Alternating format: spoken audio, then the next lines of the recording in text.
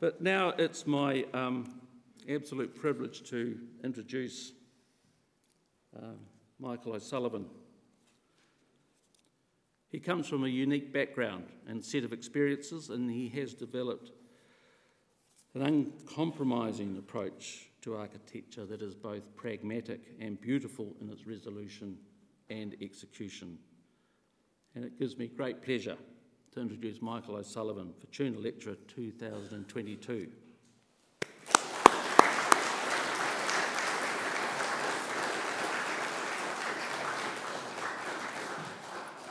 It's all yours, cuz.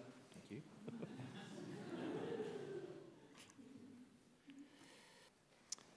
uh, good evening, ladies and gentlemen, and, th- and thank you for making the effort to come out on a funny old Saturday night. And to, and to you, Nick, thank you very much for your, your kind words. In 2016, I took all the kids to Ireland to show them what sort of gene pool they came from, and then take them on a tour of significant worship spaces around that land.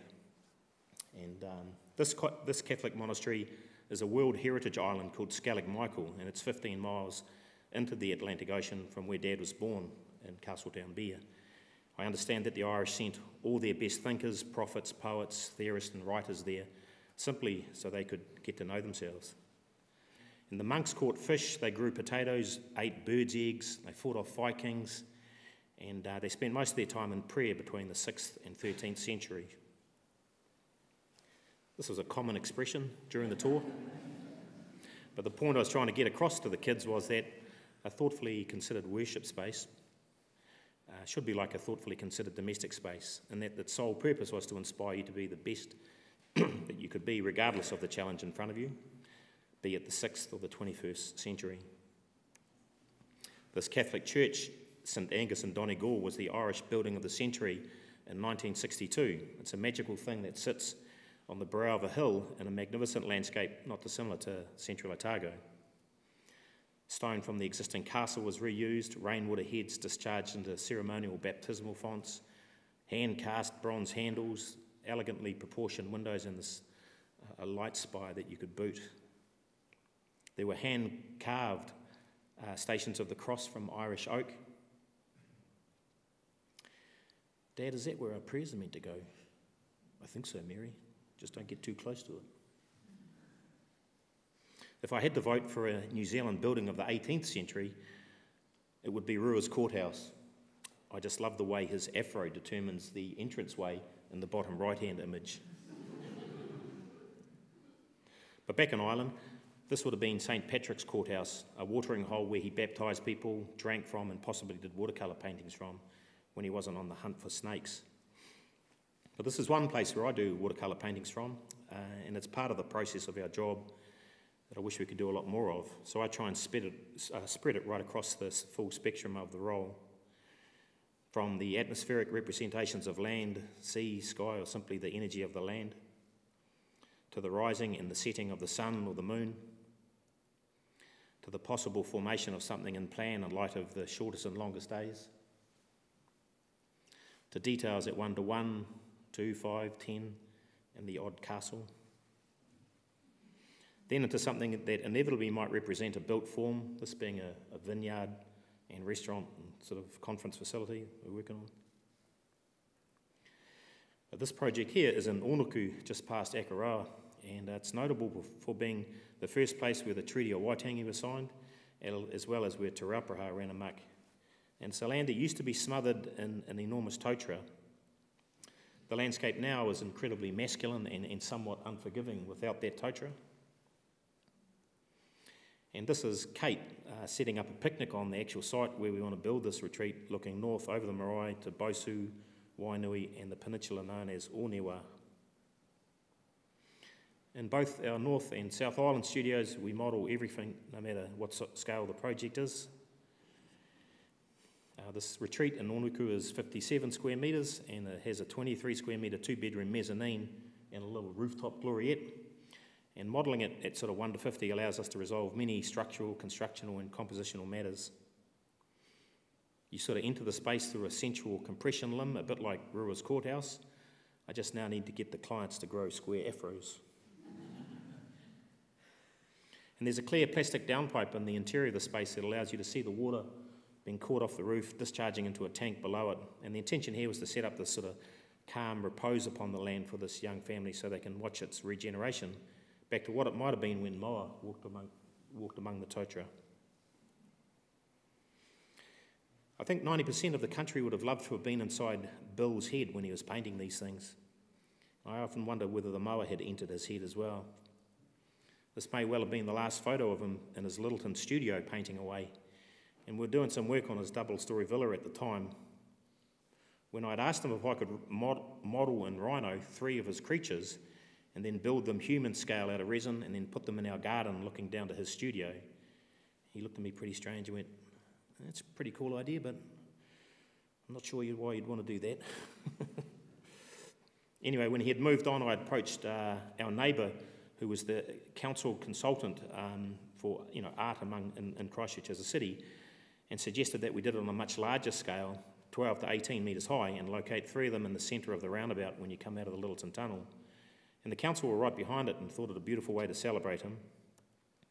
They would be positioned looking towards his final resting place, and Kitty rightfully asked Bill's family, and they said, well, might be a bit too early, but um, I love the idea that you could drive through the tunnel and see nothing but lavender, bees, and legs. the Moriori on the Chatham Islands have the longest covenant of peace of any people on the planet. And you can kind of see this positive impact that the covenant has had in the eyes of the islanders today. They are uh, inventive, resilient, fearless, and, and highly productive. I tried to get um, Matthew Ridge to go for a swim with me when we were there last year, but he wasn't having a bar of it for some reason. Anyway, when we got to the airport to go to Pitt Island, the, the pilot said he had to warm up his chopper, and he'd flown over. Um, he'd flown over where we were going to go for a swim, and he saw this thing, seven metres long, swimming inside the breakers, only 50 metres from the shore. Matthew Ridge then spent the rest of the afternoon, the rest of the trip, looking over his shoulder at me.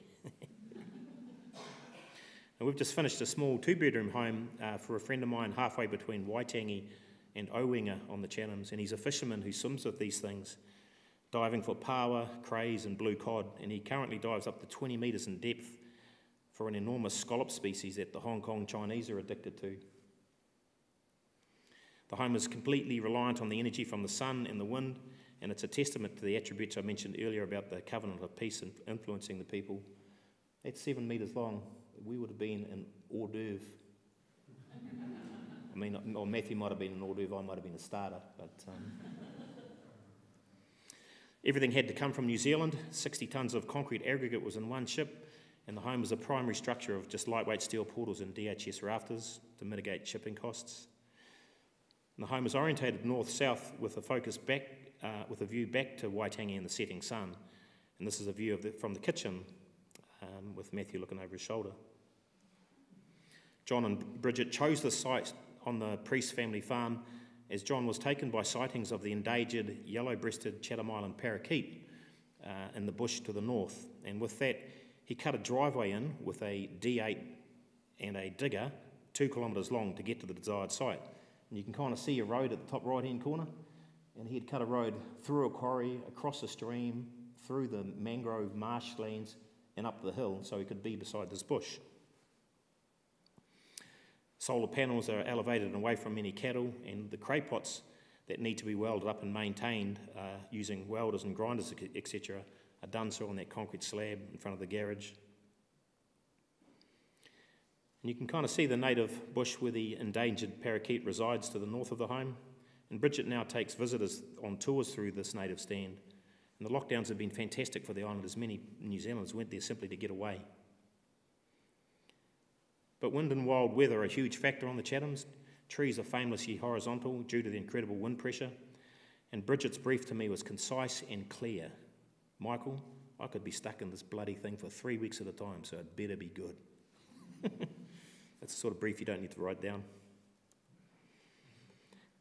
And this is a 30 seat worship space on the Chathams. It's a place where people would have come together to say goodbye to loved ones, celebrate weddings, or simply seek solace and inspiration uh, regardless of what they believed.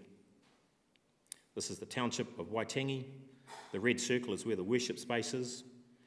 The arrow is where the shark was, and John and Bridget's um, home is where the X is. And the Moriori had this tradi- traditional waka made of korari and bull kelp for buoyancy, and they reputed could take up to 30 people on voyages between the islands. And it was intended to allow water to penetrate through the hull so they could get over breakers and, and navigate big seas. And it was something that I thought could be used conceptually in this worship space, and that light could act like the water through the waka and filter gently through the space. And the foam sort of rises to meet the view north and up the beach, while light could gently wash through at foot level, just like the waka. But the Chathams are a magnificent, wild set of landscapes, the primal and the inspirational, and they're well worth a visit. But back in the South Island, the Free Wesleyan Church of Tonga were gifted land in Wigram uh, to establish a base. And we were asked to explore relocating a classroom onto the land for the purposes of a hall, but we couldn't find anything remotely suitable, so we drew up a very simple 400 square metre building that was built for around 2,000 bucks a square metre. And halfway through documentation, the church said, Why don't we make it a worship space? And at every turn, the project was full of ritual. Here, the first foundation ceremony. And at the opening ceremony a couple of months ago, the building was dressed in beautifully woven flora and fauna, and hundreds of people had turned up from all over the country to celebrate. This is a view of the building looking back to Banks Peninsula. And the gifted land is smack in the middle of suburban mediocrity. I just certainly hope that the neighbours like Sunday morning singing because it's beautiful. And the interior is full of beautiful Pacific inspired colours and textures. And with a ceiling from burnt Portuguese cork, it's intended to emulate the inside texture of a coconut shell. And the, this cork is typically used for insulation of homes in Europe, as it's basically the leftover of the cork tile process that is then put into a big press and cooked, and then it's chopped up. And Grant England, the carpenter, was just exceptional to work with on this project right through the uncertainties of all the lockdowns. But the January volcanic eruption and subsequent tidal wave caused absolute mayhem in Tonga, and people have been living like this since then. We'd come up with an emergency structure that was 4.8 by 7.2 in size. It would be perfect for a home, school, worship space, or merely gathering while the people of Tonga could, could, back, could get back on their feet. And we'd made a prototype uh, based on a kit of parts that could be put into a cargo net and then dropped onto the outlying islands with the New Zealand Air Force Sea Sprite helicopter and then assembled within an hour. And most of the outlying islands like Atata don't even have a wharf, hence the need for a sea sprite. But with the best intentions from this country, the unit price was like 9,800 bucks each, and we could get it out of China for 2,300. We then had a meeting with the minister responsible for such decisions, and she said, pretty much, nah, it's not our problem. This is a cute little exercise pavilion and onsen at the back of an exquisitely restored Californian bungalow in Onehunga in South Auckland. And there's really something quite beautiful about a simple building that can be either completely open or completely closed. Adjustable cedar blades are sort of lined up with the structural system of the building, and 6 millimetre stainless steel rope and tensions are used for wall plane bracing. There are no visible fixings in the, in the pavilion, and Glenn, Tig, and Naomi, the carpenters, put it together like a jewellery box. There's a cedar tub at the rear and space at the front uh, for exercise, and the roof is made from Danpalon out of Jerusalem that sits under this beautiful magnolia tree. So dappled light adds to the whole drama when the blades are closed and the wind is blowing and you're sitting inside this tub. O le tangata maulona inga, o le tangata maulona whaasa moanga. Every person belongs to a family and every family belongs to that person. And in these homes in um, uh, semi-rural Christchurch, three generations live under one theatrical central roof, a bit like in a Samoan village fale. Built on a floodplain, um, the last thing I wanted the homes to suffer from was that it was dictated by their control. The homes hold a very simple sort of Claude Megson theory of compression and expansion, and this shot of the back of the western home cleverly captures the compression with the half moon above. two cows, two chimneys. And with a simple pallet of native recycled timbers inside, it was intended that families and any visitors be instantly relaxed, warm, and inspired. And this is Rob and Christine's bedroom at the western end of the homes. The radiators that Rob had imported from England are just amazing. He had them repowder coated to try and calm down a wee bit. And the void in the centre of the is used for the parking of cars and kids' birthdays, parties, and all manner of children's activities like bike riding and skateboarding and hockey practice. It is a set of homes that delivers a sense of love and nurture that warms my heart simply because Rob, the grandfather, built it with love and nurture. But love is a dangerous word in the game of architecture. I was 21 when Nick Stanish put his hand on my shoulder and he said, This game is a lot like love, Michael. You've got to learn how to let go just at the right time. And the studio I built in Lyttelton is put together only on love. And we've just added to it accommodating a library, workstations, and Marae style sleeping. It also showcases an aluminium joinery system that Andrew and I have been working on for the last five years. It's being a contemporary play on the English steel joinery from the 1860s. Fully welded is intended to be a sort of central response reaction to the box section that we're so acclimatised to. And mullions, jambs, sills, and sash frames are meant to be exciting and provocative to touch. You can kind of see that in the extrusions at the top of the drawing and on the left hand side. We covered three suites uh, fixed glass, side hung sash or door, and an external slider. And we had it tested to very high wind pressure according to NZS 4211. And with handles uh, built into the extrusion and exposed stainless steel rollers, it certainly uh, has exceeded our expectations. The whole extension was constructed and then carved internally by Alistair, uh, and it is intended that when you're inside the space looking south, um, it makes you painfully aware of the sky, the mountains, and the water in that order. This home on Waiheke Island had its own hate blog. I didn't read any of it, but apparently there were some real crackers on it. Richard, Richard, the owner, he was an English fella, had told me that one of the comments was that the home was an act of architectural arrogance. And Ian Athfield had heard about this, and he rang me up and told me that it was a great achievement. And that made me laugh because I didn't really know what the achievement was. Anyway, the front faces north onto what used to be the island's tennis court, uh, which is now a magnificent private garden for Richard and Anna and the kids. And if we could measure architecture by love, then surely the barometer is watching your client's kids grow up in the home that you've just drawn for them. Uh, I, I love this shot of Sid. This kid must be 16 now. But this guy, uh, he built this house and he built many of our homes. Eight weeks ago, he died in my arms.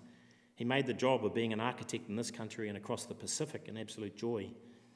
The last thing he heard on this planet was my voice saying to him, You are the most wonderful human I've ever met, and I love you with all my heart. And with that, he must have thought, Okay, it's time to get out of here. but it takes courage for someone to ring up an architect and say, uh, would you be interested in, expect, in interpreting my expectations? And it takes equal faith for that someone to then have a carpenter deliver such ideas.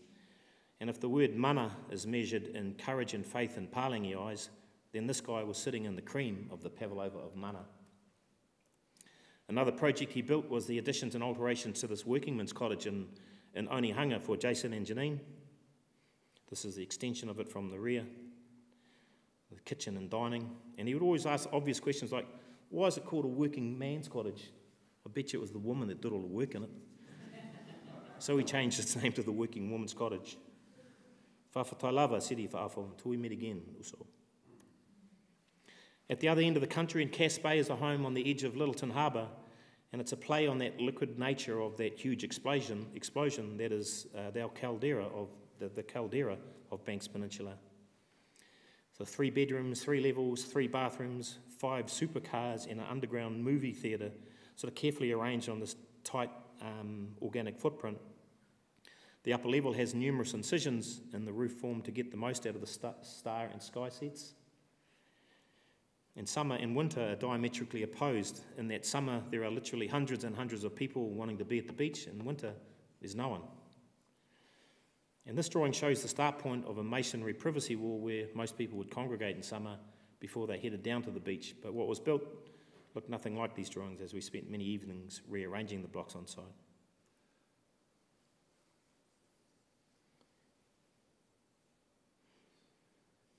There was much satisfaction in putting together all the built in furniture for the home, and Brad was instrumental in pulling the whole thing together. So thank you, Brad, for all your great energy. And its relationship to Mount Herbert and Quail Island drove many of the proportional and compositional decisions on site as the project was unfolding, just like the masonry privacy wall. We changed much of the drawings while the process of construction was well underway.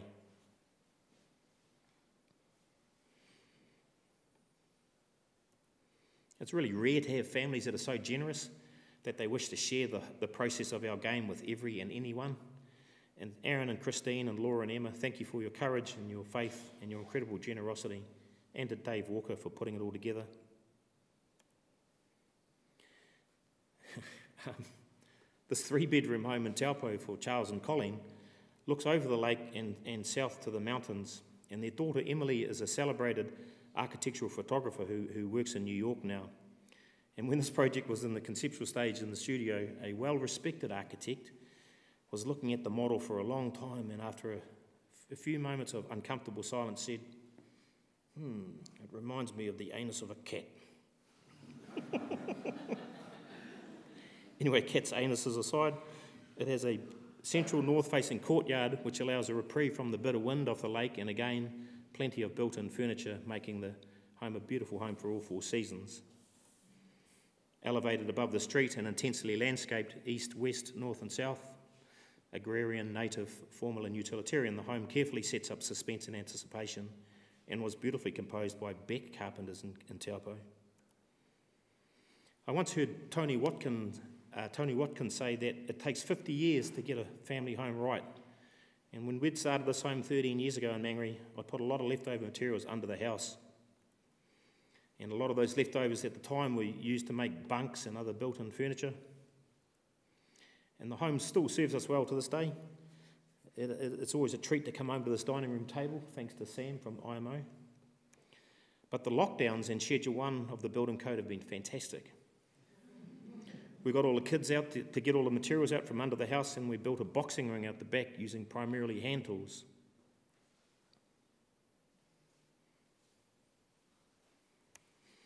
Using just a handsaw, hammer, and nails gave them great appreciation of how rewarding it is to put something together with a bit of time and lots of really bad humour.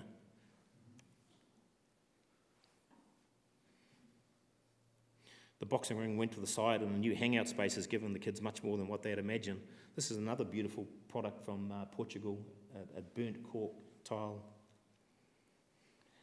In the far north, in a settlement called Ohaeawai, is Ohaeawai is, another, is a 159 square metre three bedroom home for a couple in their 80s. The outcrop of rocks to the left is known as Lover's Leap in the middle of the farm, and it's far away from the old homestead that Sam was born in and, and spent 80 years in. And Chris and Sam still make produce from the farm today that is sold at the Kerikeri markets and online. The home is full of colour, rich textures, and incredible paintings, and Hundertwasser was a friend of the family, would often visit the farm. But the idea that a home act as a health retreat becomes really important in your eighth, ninth, and tenth decades. This home has given Sam, who has just beaten bowel cancer, and Chris a new lease of life since they moved in. And thank you, Andrew Lodge, for putting the home together so beautifully. Maori advocate that there are 10 levels to heaven, and I kind of like that idea. I think I'd struggle spending, on the, spending eternity on the same level as quite a few people. Um, and it just, it's a nice idea that you could change level when you felt like it. I claim that beautiful and purposeful architecture resides somewhere between one's Mauri, M A U R I. Did I say that right today, Henny? Yeah, uh, it's which is, your, which is your life force, and wairua being the spirit of, be it the land or the bespaced heavens. And if that's the case, then the State House of the 1960s must reside up around Tawhaki, which is 6 to 9 on this scale here. This Lyttelton State House underwent a serious number recently. It has a new elevated public pavilion that hovers above the existing State House, stitching Quail Islands with Mount Evan and Herbert. The kōrari for this north facing deck is lashed to a steel frame that I welded up for Linda and Alistair on the hottest Canterbury day I can remember. And it takes the bite out of the Canterbury sun in the height of summer as well as create lovely shadows on the deck and inside the home. The elevated pavilion has, is for family time only. There's no TV operating at this level, and the energy here is sensational for that exclusion. Audio-visual activities are in the existing State House in a chocolate-lined space that is perfect for music and movies, a space that Anthony Hoete called the disco room. Browntown builders and Alistair put this home together with pure passion. And alterations and additions of another sort is this concrete villa in Mount Eden that we've just done. The brief Bridget gave me for this house, for this home, would make any architect salivate. She said, I work really hard, and when I come home, I want to think that I'm on holiday. And I, I really I was really quite tickled by that. So, a heated freshwater pool and ample, ample tropical landscaping and, and a north facing sun space certainly helps with days like we've had in the last month. My utmost respect goes out for the medical profession and surgeons in particular, what they do in our society. So, that certainly helped me pour the right amount of passion and love into this project. Egan is the Irish word for ocean, and Scamall for cloud. And between and on the edge of them both lies this retreat at the top of the Coromandel Peninsula. A seven bedroom multi generational hideaway in Opito Bay. There's a triple height void in the middle of the plan to assist with clarifying what is public and private. The lower public, le- lower public level has the walls longitudinally leaning out as an act of openness and the triple height void hovers over the kitchen, bouncing light around. The upper level, being the private realm, have the walls leaning in as an act of closure. And we'd put together an old school fibrous plaster tile, a bit like these ones on the Station of the Cross, uh, based on the section plan and an axonometric of the retreat to be read concurrently. Uh, and this was used to create the schema layer within the home. So different, two different tiles were staggered, flipped, and rotated to capture the rhythm of the day. This is the main bedroom looking out to Great Mercury Island. And this is looking back to the main bedroom from the beach through the tussock. Paul Sayers, Paul Sayers carpenter did a magnificent job in putting this together so seamlessly. And in the middle of the Waikato, Matt and Winnie had asked us to draw up a small home for them. They didn't have any kids when we first started. Now they've got two beautiful children. The home sort of tumbles down this cliff underneath a single roof plane with a clerestory window framing the northern sun and the Waikato River. And the, the 1962 Woolley home in Sydney by Ken Woolley has a very similar topography to the site. And I was really intrigued by the sleeving of space that he had achieved under a series of four different roof planes. And Matt had introduced me to the ease of getting building materials out of China which has been hugely inspirational. Here, wingy veneered plywood lines the whole interior of the home, making the kids feel like they live inside a chocolate cake. From the street, you've got no idea what lies below the block wall balustrade. And Matt had also uh, purchased his own CNC machine that he had made, and he had made everything from the doors and window frames, lights, kitchen and laundry cabinetry, book and wardrobe shelving, and privacy screens including the cutest kids' beds on the planet. And these double rectilinear downpipes sums the whole family up to me. That is, if you don't have families who are invested in the, in the whole process, this game can be really hard work. Matt's dad had put together the downpipes, gutters, and rainwater heads that are mirrored at the street front on the garage. The Colorado River in Austin, Texas is similar to the Waikato in that it's peppered with hydro dams. An actor had contacted me to uh, look at putting together a retreat for himself so he can play country music on the banks of the river and get away from the madness of Hollywood. So I went up there for 10 days and I put together a scheme that we used to hold talks with the City of Austin planning and building departments and then discussions with carpenters.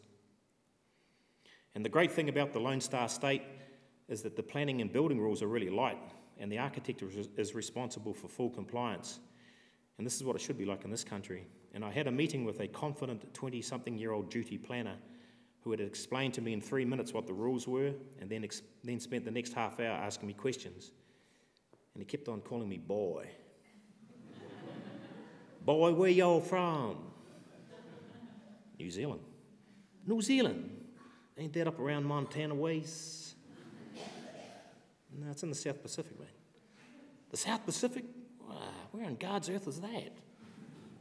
And I'd given him a book on the New Zealand landscape, and he thought that that was licensed for him to be able to ask me anything, and I wasn't ready for what was coming next.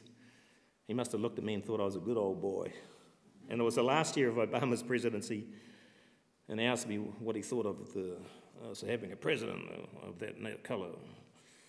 And I said to him, Well, if he was the president of New Zealand, I think we'd be pretty happy with him. You know, he's done some wonderful things like your Obamacare.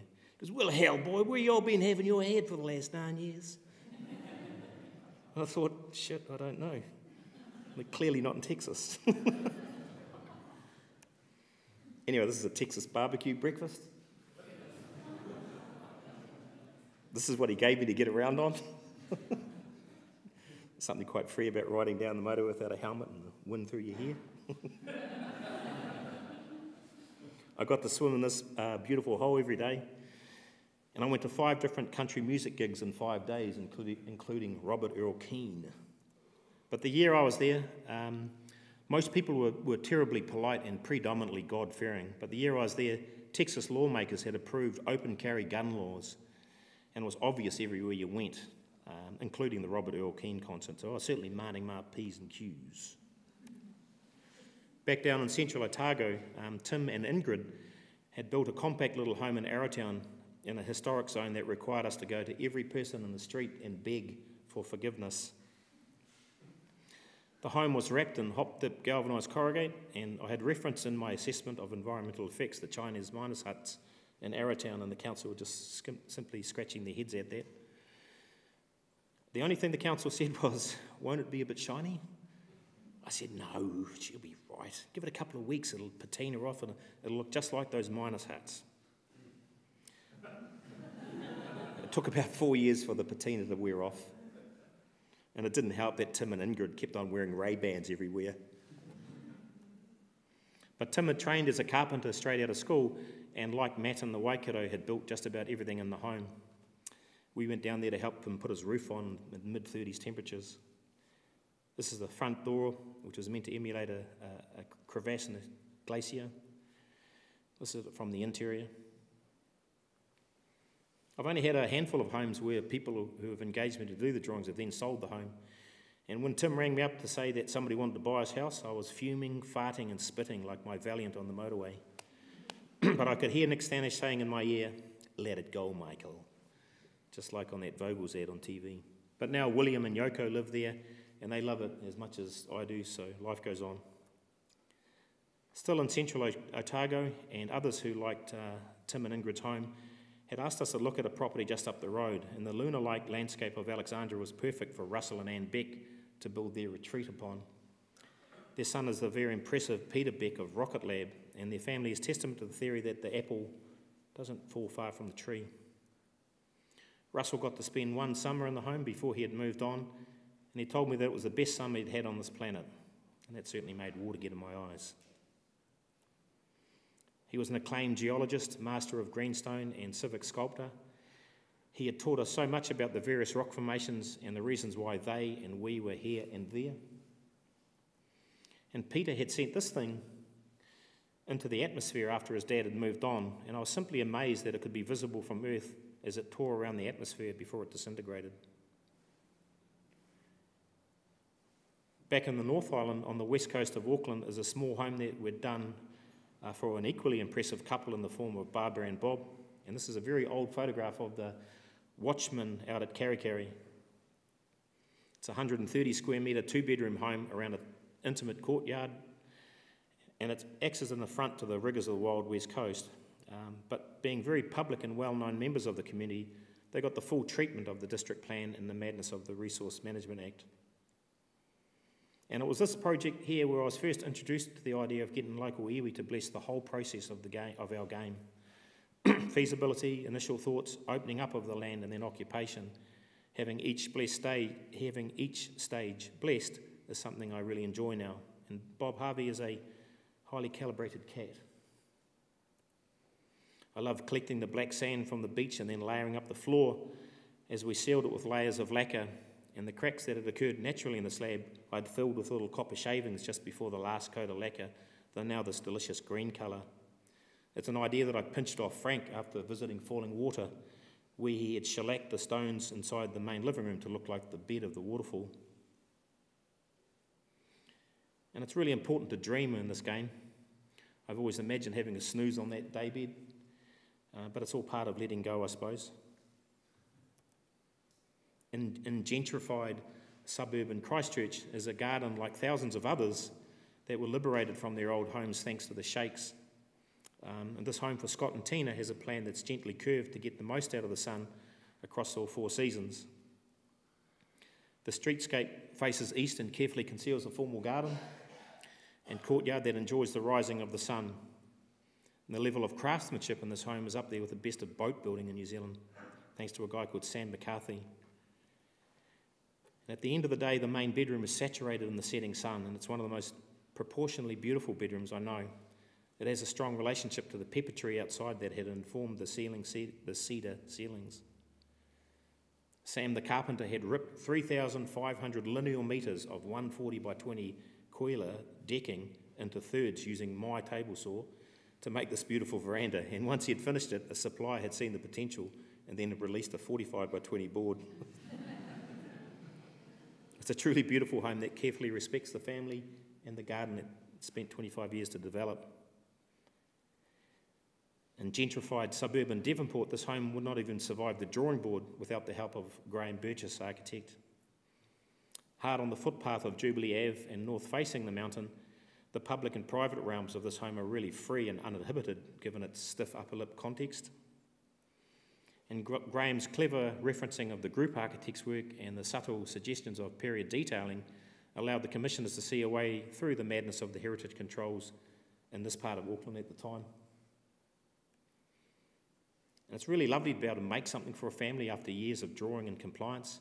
Here I made a dining room table out of Aussie blackbutt and a um, up and down light that traverses both the island and the, and the table out of redwood.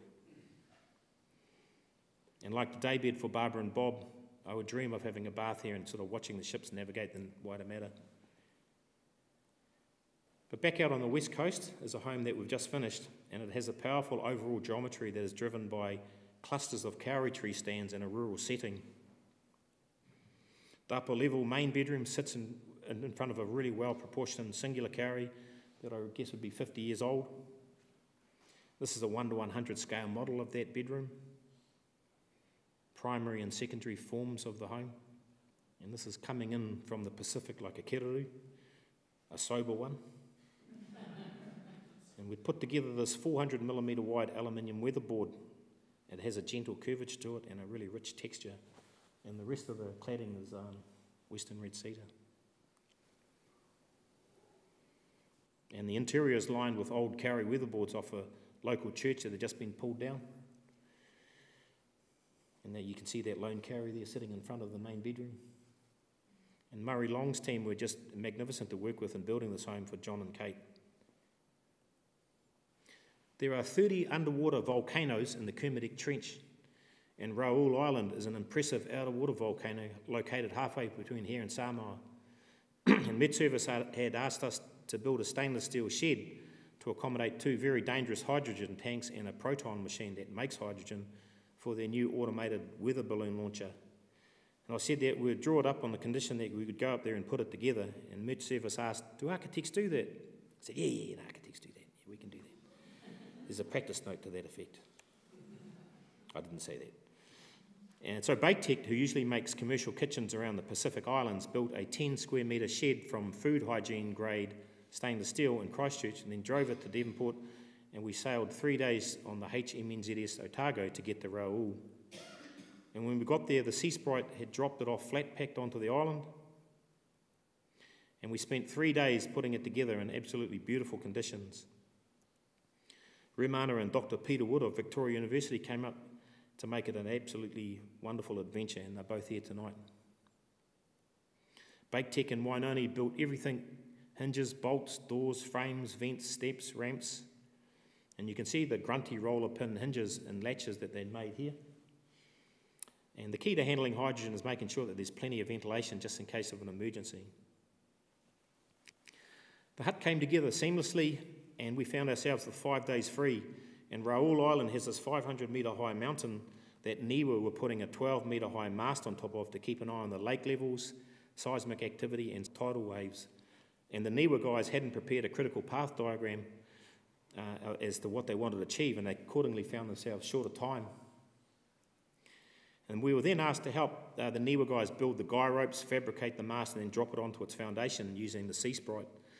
The Navy, the Army, the Air Force, and the NIWA uh, were just were involved in what I thought was a really cool job. And at the end of the day, we were all looking forward to being uh, winched up into the Sea Sprite.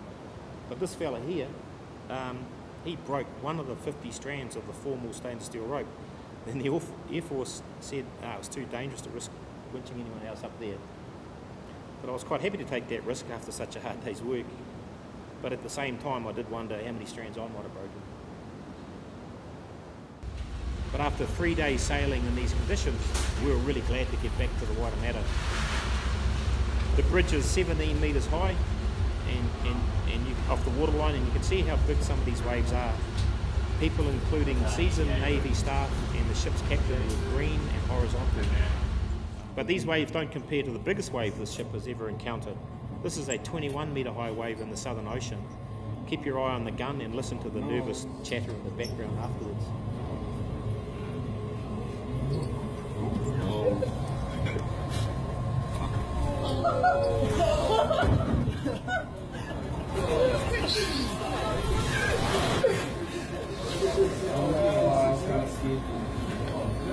I was scared.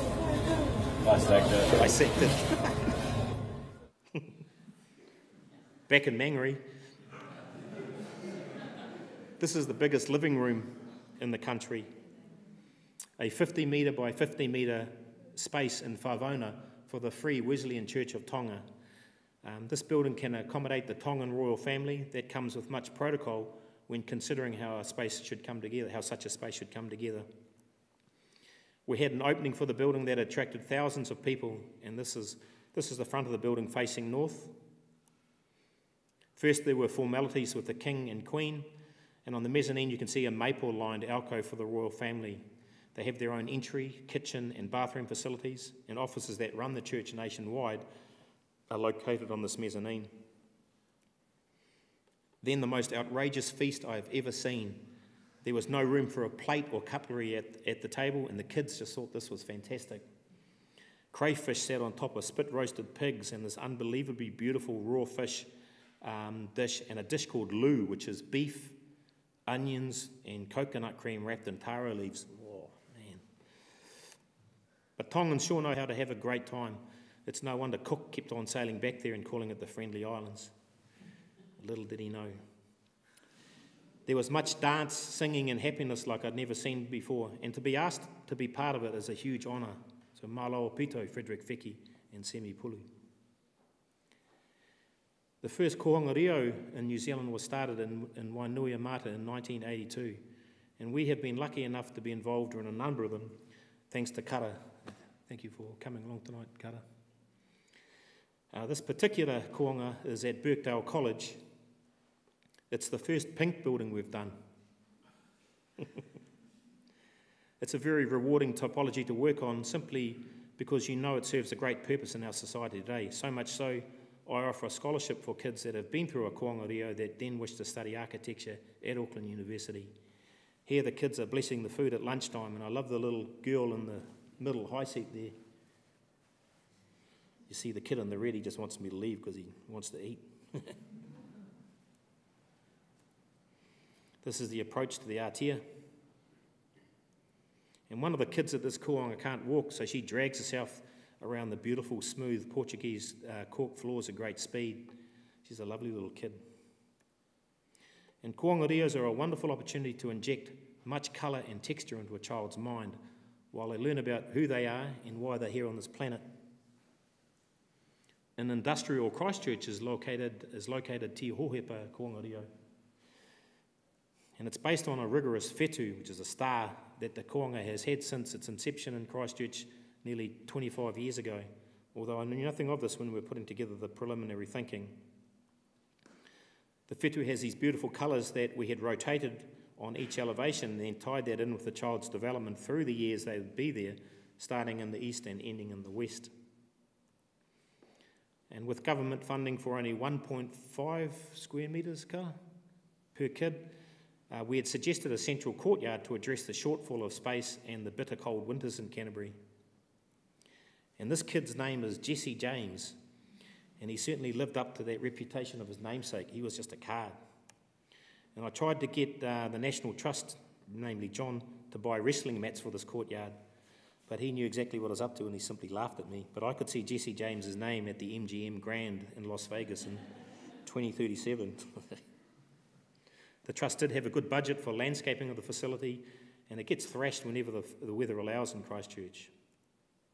But I just love the fundamentals of the kohanga in that the parents are invested in the facility and the child's growth. And the Irish have a similar program funded by the government called Near School, where kids are taught an almost identical curriculum. And like Kohanga Reos, they're really hard to get into. This is the front of the Taipa Kohanga Reo in the far north. And what I wanted to try and capture here is what a child might experience when dad or mum puts that kid to bed on a hot summer's night and he drop, they drop a sheet on the child and it gently floats down on top of that child. Most kohangas have kids from all uh, manner of different iwi and hapu. Not so in Taipa, most of the kids are Ngāti Kahu. And this is a photo of the opening. And when I was invited to the opening, I put on a suit and I drove up early in the morning, and there were hundreds of people present, and I only knew a couple and these two seagulls. And that must have been quite obvious because I noticed Hone Harawira walking towards me. and I thought, shit, he's going to come up and say, hey, g'day, my name's Hone, and welcome to Taipa, thanks for coming to the opening. He walks up to me and goes, What are you doing here? And before I could think of a sensible answer, I was telling him a story of sorts. Said, Well, you see now, I was on the southern motorway and I usually take the Otahuhu off ramp and turn right, but instead I turned left, and after three hours driving, I ended up here. he just looked at me and walked off. anyway, after another three and a half hours, I was asked if I'd like to talk, and given I can't kōrero, I opted to read the lyrics of Mahina Rangitoka's song called When I Grow Up.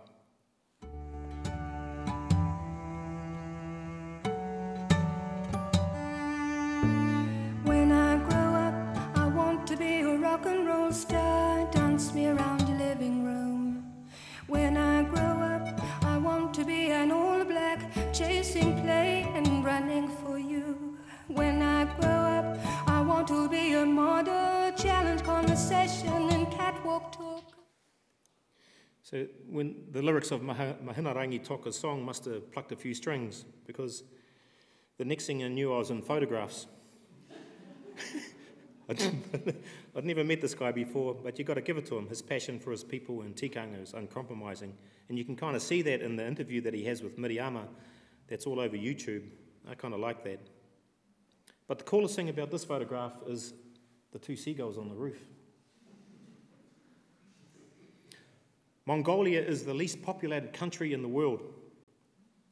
And the city of Ulaanbaatar is struggling to accommodate the influx of their traditionally nomadic people and we were asked to come up and do a presentation of different typologies using steel framing uh, on behalf of a local developer to the Mongolian government and other interested parties. And we'd come up with uh, six ideas ranging from 40 square metres up to 160, and they were based on the native alpine flowers of Mongolia because that's all I had to go on. This is a one bedroom 40 square metre, the two bedroom 60 square metre meant to be a steel ger an 80 square metre that I named the Segal Ul. And the government loved this one because this, the Segal Ul is this beautiful little native flower that is the silver fern of Mongolia. And the three bedroom, 100 square metres over two levels. And a duplex with a courtyard for goats. But the main reason I went there is that I wanted to compete in a tournament called the Naadam Festival it's a celebration of Genghis Khan's army skills that occurs every year in May. And the first of the three skills contested is wrestling. It's not like Olympic wrestling, it's based on a simple takedown. So if you put your knee, your elbow, your hand, or your butt down, you're the loser. 1,092 men come onto the National Stadium, and it lasts for days until the last man is standing. I got the Mongolian yeah nah it was all good when I was in New Zealand, but when I got up there, they said, well, in 800 years, a foreigner has never competed in our game, so we're not going to start now. Interesting, interestingly, they are bare chested because one of the first Naadams was won by Genghis Khan's daughter. and they thought to avo- avoid further embarrassment, they would come up with this rule, but I'm not sure how foolproof that rule is. The second skill is archery, shooting a distance of 75 metres into a 75 millimetre diameter bullseye. It's incredible to see. And the third being horse riding, being a 30 kilometre race across the vast wild Mongolian landscape. When I was there, a six year old boy rode a six year old mare to win and then was an instant national hero. It's not for the faint hearted, the majority ride without saddles, and there is an incredibly high attrition rate. And then they all head off to these um, race clubs and these supersized gers and drink copious amounts of really bad vodka. I'm not sure what was more dangerous the horse riding or the aftermatch function. You've got an option culturally. You can either drink fermented horse milk and wash that down with a goat's cheese biscuit, or drink really bad Russian vodka. So it was a pretty simple decision for me. As a country, we spent 950 million bucks on MIQ accommodation during the lockdowns with the majority of the facilities being owned by offshore companies. Quail Island would have made a sensible MIQ venue, being a former leper colony and quarantine station. Self contained, fully insulated carbon fibre units could have been fabricated in Lyttelton and chopped on and off as required. And when no longer required, they could have been used as minor dwellings for the younger members of our society that are struggling to get going.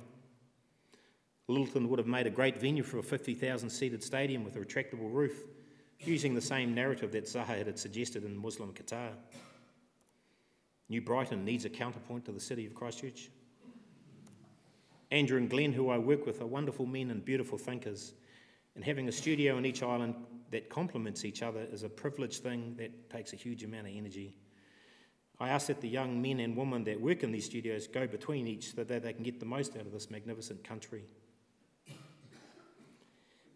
This journey started when I spent a week um, with Busen and Stress Architects in Peter Beaven's Canterbury Arcade building. And both Graham and Ray were hugely inspirational at that critical age, and Graham still is to this day. The guy on the right is Nick Stanish, who taught me how to think at university. I have the highest amount of respect and love for this guy, and I'm blessed to have had the start and to have had time with these magnificent architects. There are more people alive on the planet today than those who have ever died in the history of humanity. Therefore, what we do has never been more important. Architecturally, we are privileged and spirited land, a spirited land with, and our built environment is on top of the world. I've just made this claim based on what my eyes have told me from travelling around the planet. We have some amazing architects in this country that keep producing work that the whole world is looking at. And the guy on the left has taught and influenced most of these architects. But being an academic is a thankless role, so I want to take this opportunity to thank everyone that works in tertiary education. The guy on the right is trying to figure out what his old man does for a job. Don't worry, son, I'm still trying to figure that out too. A 95 year old man wanted me to draw him up a letterbox once, and I'm guessing he wanted to see more letters. So I made him a model at 1 to 20, and he loved it. And then he built it. I suspect he was disillusioned and disheartened with me with digital communication. If no one ever sent me another email or text message again, I'm sure I'd be pretty happy with that. So do me a favour, everyone. Tomorrow, write a letter to somebody who you love, preferably on unlined 200 gram watercolour paper using a fountain pen. And that's all I've got to say in the matter. So thanks for coming along.